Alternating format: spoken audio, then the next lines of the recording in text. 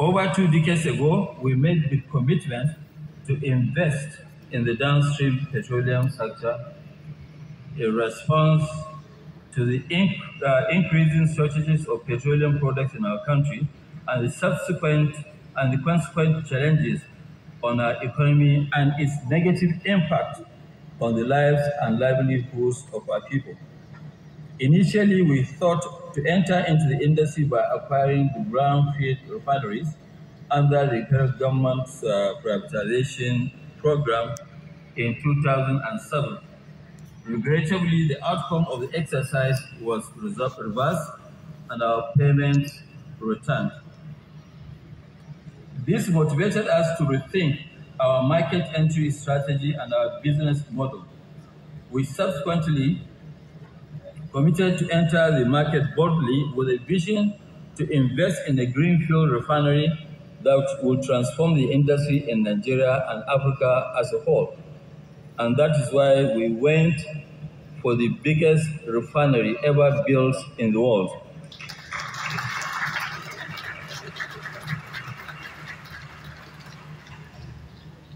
We decided on a plant designed with a state-of-the-art technology and at a scale in capacity that will be a game changer in Africa and the global market.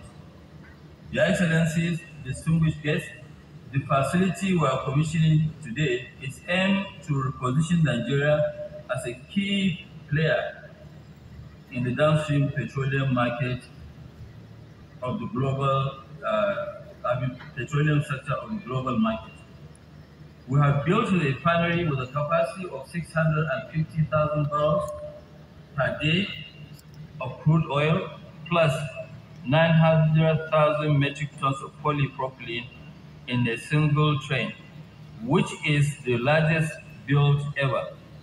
We have selected the best plants and equipment and the latest technology from across the world our product slate is designed to meet the highest quality standards of the high value products, including premium motor spirit, PMS, automotive gas, oil, diesel, aviation fuel, kerosene, ATK, all of Euro 5 standards that will enable us to meet not only, I mean, not only to meet our country's demand, but also to become a key player in the African and the global market. Our coastal location and offshore, our coastal location and offshore loading and offloading single point mooring facilities with the capacity to receive all our crude oil supplies and evacuate up to 75% of our liquid products giving us direct access to the rest of Africa and the global market for exports. In addition, 80% of our production can also be discharged through trucks to go around Nigeria.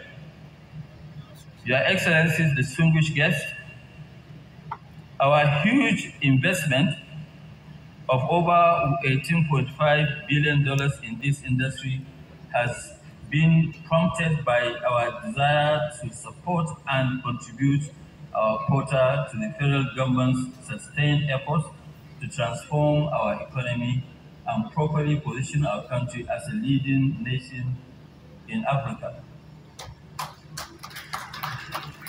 And also a respected member among economies in Africa. Your Excellency, Mr. President, this commissioning ceremony is just the beginning of a great journey. A milestone in a new and exciting trajectory for our downstream sector of Nigeria's oil and gas industry.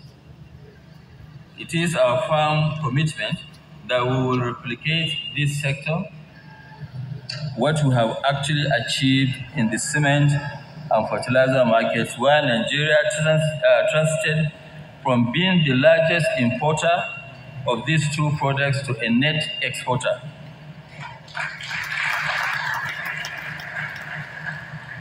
Beyond today's ceremony, our first goal is to ramp up production of the various production to ensure that within this year, we are able to fully satisfy our nation's demand for higher quality products to enable us eliminate the tragedy of importing uh, of importing dependency and stop I mean, of import dependency and stop once and for all the dumping in our market of toxic substandard petroleum products. Your Excellency, Your Excellency, distinguished guests, our first product will be in the market before the end of June, uh, before the end of July, beginning of August this year.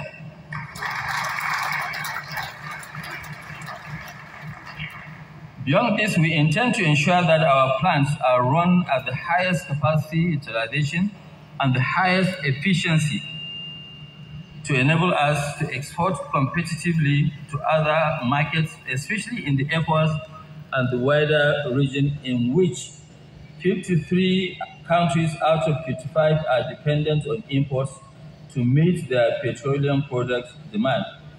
This is a clear opportunity for Nigeria given the African Union's commitment to the creation of an African common market through recently established African Continental Free Trade Area regime. Let me now briefly touch on the immediate benefits of today's commissioning that will bring to our economy and our people. First, beyond the constant availability of a high quality fuels for our transportation sector. The refinery will also make available to our industries vital raw materials for a wide range of manufacturers in the plastics, pharmaceuticals, food, beverages, packaging, construction, and many other industries. Second, while the refinery operation and uh, uh, ancillary businesses will generate massive job opportunities the downstream value chain will equally provide far more absorptive capacity for labor in the hundreds of thousands. Third, once our plant is fully commissioned and it is on stream, we expect that at least 40% of the capacity will be available for export and this will result in significant foreign exchange and into the country. Overall, we are committed to operating our plant in line with international best practice. Recognizing the importance of protecting the environment, we have adopted stringent environmental health and safety policies to ensure that the refinery operates in a safe and sustainable manner. Mr. President, distinguished, uh, Mr. President, other excellencies, distinguished guests, the journey to this event was long and odious. It could not have been possible without the support and collaboration of many parties and individuals. I'm immensely delighted to be here today to witness this historic occasion which heralds a significant accomplishment for Nigeria's foremost industrialist, Alhaji Aliko Dangote, the group, the Dangote Group, as well as our beloved nation, Nigeria, and indeed the entire continent of Africa. Today, our history is being rewritten, and Nigeria's trajectory for greater growth and prosperity is enhanced as we inaugurate Africa's largest refinery, the Dangote Refinery, alongside its petrochemical plant. I congratulate Alhaji Aliko Dangote and his team for their uncommon tenacity and unwavering commitment in completing this project, notwithstanding various challenges that they have faced. More importantly, please permit me to congratulate and thank President Muhammadu Buhari for his unrivaled leadership, vision, and support in ensuring that this significant project, which exemplifies the president's effort towards building a more productive economy was completed during his tenure as president. Mr. President, sir, it is on record that when the NNPC was created in 1997, You were the first, you were the corporation's first chairman and shepherded them into the behemoth they are today. As Federal Commissioner of Petroleum Resources, you completed and commissioned Nigeria's wholly owned refinery in Warri in 1978, while significantly improving the readiness of the Kaduna refinery, which was also commissioned in 1980. As president, you have not only superintended over the Ministry of Petroleum Resources, you led the efforts towards the finalization and enactment of the Petroleum Industry Act, a law that had eluded many presidents before you, sir. Your Excellency, over the last eight years, your far-reaching vision and deep knowledge has also been instrumental in the tremendous growth of the construction phase of this refinery, for which we are here today. Mr. President, today, your name goes into the, our annals of history as you yet again commission the biggest single train refinery in the world in Nigeria. Your Excellencies, as you're all aware, this complex comprises a refinery, a petrochemical plant, a urea and fertilizer plant, and a subsea pipeline project. This petrochemical facility has a capacity to produce 900,000 metric tons of polypropylene per annum, while urea will be able to produce 3 million metric tons urea annually. Its plastic, its flagship project for which we are here today, the Dangote refinery, which has a capacity to produce 650,000 barrels of crude per day, is the largest single train in the world. Given its pro pro processing capacity, this refinery is more than able to meet all of Nigeria's domestic fuel consumption, whilst the excess production will be available for export. This will not only aid our domestic production needs, but also help in generating export revenue for our country. This refinery is designed to process not only Bonny light grade of crude oil, There's also process a wide range of other crude streams, including many from Africa, some Middle, Mid, Eastern streams, and the US Bonny light. Your Excellency, in September 2013, when Alhaji Dangote announced his plans for a refinery, it was estimated to cost just about $9 billion. By 2017, when Dangote Group commenced this project, the project had escalated, and due to an array of factors, the project was eventually completed today at a total cost of $18.5 billion, with a contribution of 50% equity investment by Dangote and 50% debt financed by our banks. I'm delighted to announce, Your Excellency, that the commercial loan component of the project was financed majorly by our domestic banks, with the balance sourced from foreign banks. The Central Bank of Nigeria also partnered, as always, with Dangote in ensuring the successful completion of this project by providing over 125 billion naira to cover domestic currency requirement for the venture, while also ensuring the availability of foreign exchange to pay for the importation of some of the plants and machinery being commissioned today. Your Excellencies, we have it on good authority that the Dangote Group has paid down some portion of this commercial loan even before this commissioning today. As at today, total loans outstanding has dropped from over $9 billion when this project started to $2.7 billion today. Alaji, please pardon me that I have to reveal numbers here. This reflects the astute credit worthiness and commercial capability of the group and its chairman, Alaji Dangote. Your Excellencies, Please permit me at this juncture to appreciate all the participating local Nigerian banks who did not only partner with the project through effective financing, but were keenly aware of the importance of the project to our country. They provided immense support. It carries the potential to support security of supply for refined petroleum products and petrochemicals in Nigeria and the region, as clearly articulated by Alhaji Aliko Dangote.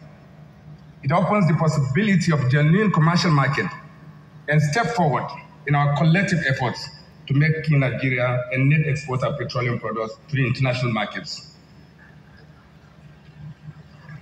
This no doubt offers opportunity for efficiencies, better value, and improved governance as healthy competition always offsets market monopoly.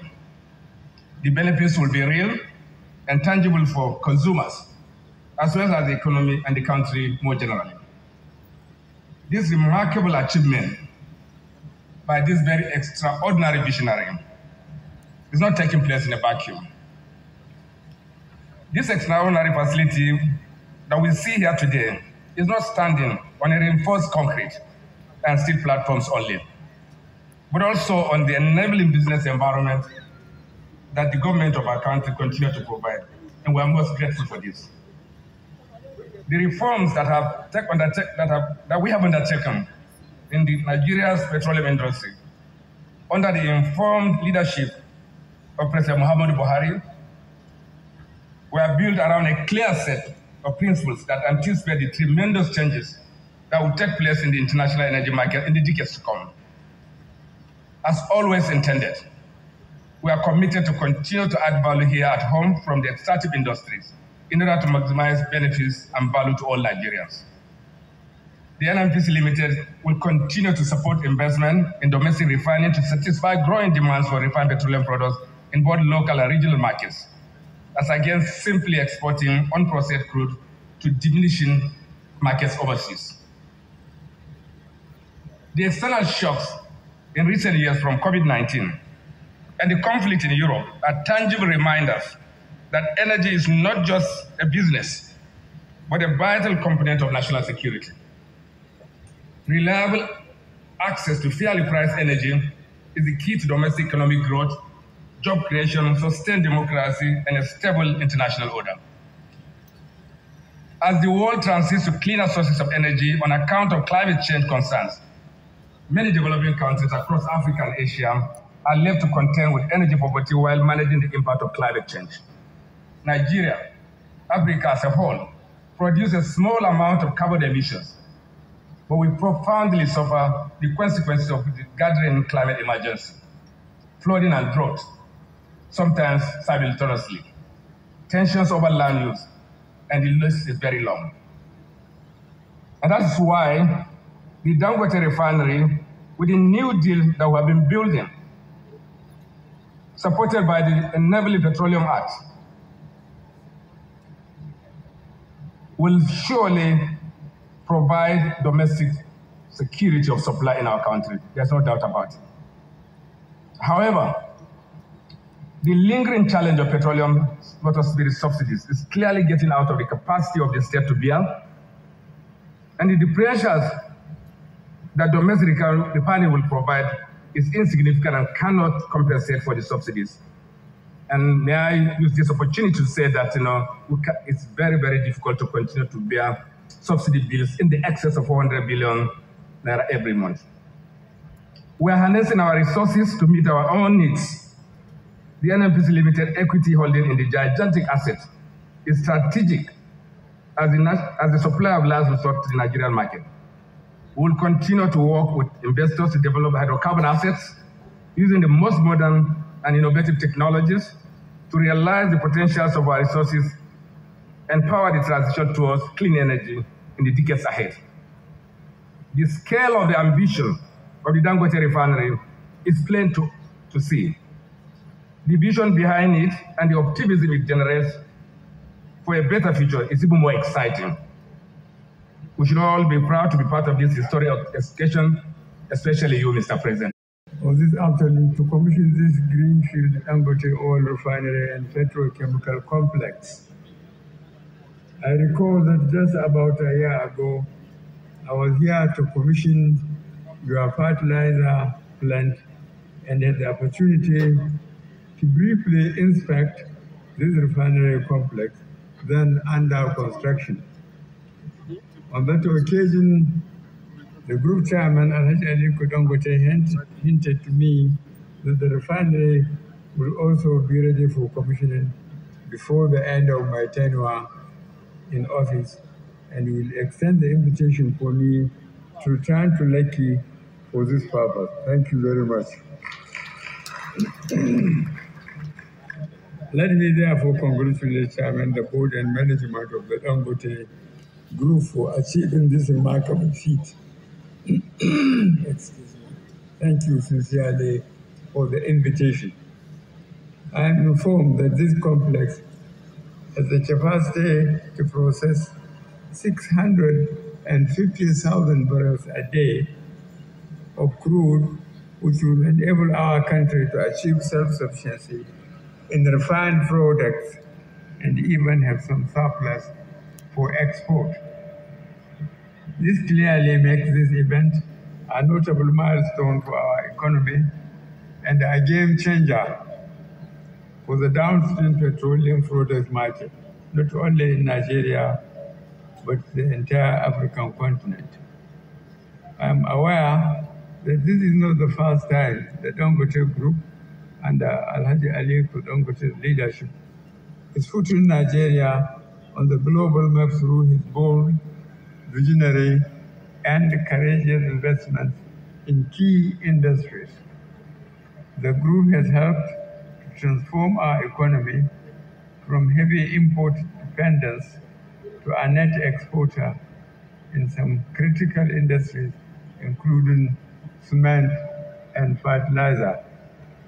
Our, our economy, which has been stressed for many decades by huge deficits in economic infrastructure and over a decade of insurgency, has also been severely impacted by several external crises, including the global financial crisis, the collapse of oil prices, the coronavirus pandemic, and the Russia-Ukraine war.